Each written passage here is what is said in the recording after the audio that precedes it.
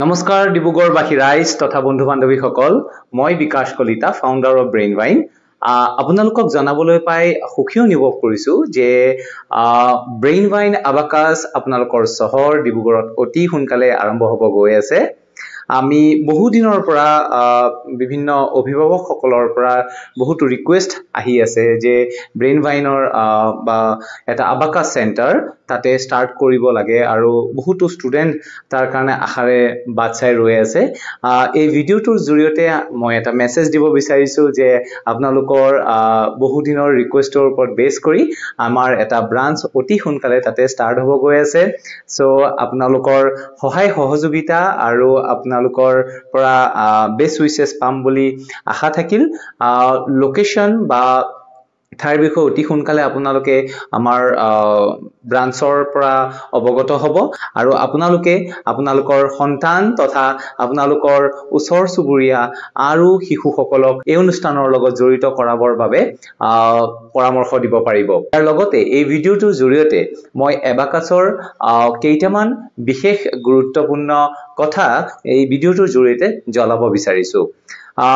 Abacus ক্লাছৰ জৰিয়তে আপোনালোকৰ শিশুসকলক এক নেক্সট লেভেলত লৈ যোৱাৰ আমি যি প্ৰয়াস কৰিছোঁ লগতে আপোনালোকৰ যি সপোন যে আপোনালোকৰ শিশুটোক এক ব্যতিক্ৰমিক হওক এক্সপাৰ্ট হওক স্মাৰ্ট হওক এই ক্ষেত্ৰত এবাকাছে গুৰুত্বপূৰ্ণ ভূমিকা অৱলম্বন কৰে আৰু এবাকাছ ক্লাছৰ জৰিয়তে আপোনাৰ শিশু বহুত বেছি স্মাৰ্ট হৈ পৰিব।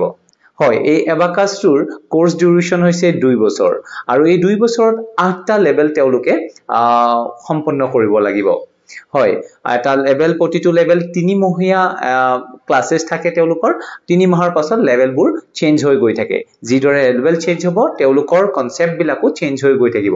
মেইনলি আবাকাছত আপোনালোকে চাৰিটা তত্ত্বৰ ওপৰত মেইনলি শিকা হয়। সেইটো হৈছে যিটো জীৱনত আমাৰ সৰুৰ পৰা ডাঙৰলৈকে প্ৰতিটো ষ্টেজতে প্ৰয়োজন। আৰু সেইবোৰ হৈছে এডিশ্যন ছাবষ্ট্ৰেকশ্যন মাল্টিফিকেশ্যন এণ্ড ডেভিয়েশ্যন আপোনাৰ শিশুটো যেতিয়া এই চাৰিটা গুণ যেতিয়া এবজৰ্ভ কৰিব খুব কুইক তেওঁলোকৰ কেলকুলেশ্যন কৰিব পাৰিব ৰিজাল্ট দিব পাৰিব দেখিব প্ৰত্যেকটো ডাঙৰ ডাঙৰ মেথেমেটিকেল কেলকুলেশ্যন মুখৰ ভিতৰতে পলকতে তেওঁলোকে এনচাৰ দিবলৈ সক্ষম হ'ব। আৰু এই কোৰ্চটো দুই বছৰীয়া মই আকৌ ক'লো। আৰু এই কোৰ্চটো কৰিলে কি কি বেনিফিট হ'ব সেইটো আৰু অতি গুৰুত্বপূৰ্ণ। হয় এই কোৰ্চটো কৰিলে এই এবাকাছ ক্লাছটোৰ জৰিয়তে বিশেষভাৱে মেথছৰ প্ৰতি দুৰ্বল যিসকল ষ্টুডেণ্টছ বা মেথছক ভয় কৰে লগতে মেথছত ভাল স্ক'ৰ কৰিব নোৱাৰে তেওঁলোকৰ কাৰণে বহুত লগতে যিসকল শ্বাৰ্প আছে যিবিলাক মেথমেটিকেলি ষ্ট্ৰং তেওঁলোকৰ কাৰণে তেওঁলোকে যদি এই ক্লাছটো কৰে আৰু বেছি বেটাৰ ৰিজাল্ট তেওঁলোকৰ কাৰণে হ'ব। প্ৰথম কথা মেথছৰ ভয় বা মেথছৰ প্ৰতি তেওঁলোকৰ দুৰ্বল সেই শিশুসকলক মই ক'ব বিচাৰো বা পেৰেণ্টছে জনাটো দৰকাৰ যে এবাকাছটো যদি কৰে এই এবাকাছৰ আমাৰ মডেলটো হৈছে ফান এণ্ড লাৰ্ণ মানে তেওঁলোকে এনেকুৱা ছিষ্টেমত শিকিব যাতে তেওঁলোকে বহুত বস্তু ইমান হেভি ডাঙৰ ডাঙৰ কেলকুলেশ্যন পলকতে কৰিব পাৰে। ইয়াৰ ফৰ্মুলাছবোৰ বহুত ইজি আৰু তেওঁলোকৰ ইণ্টাৰেষ্টিং কৰি দিয়া যায় যাতে শিশুৱে শিকিবলৈ বহুত ইচ্ছুক কৰে।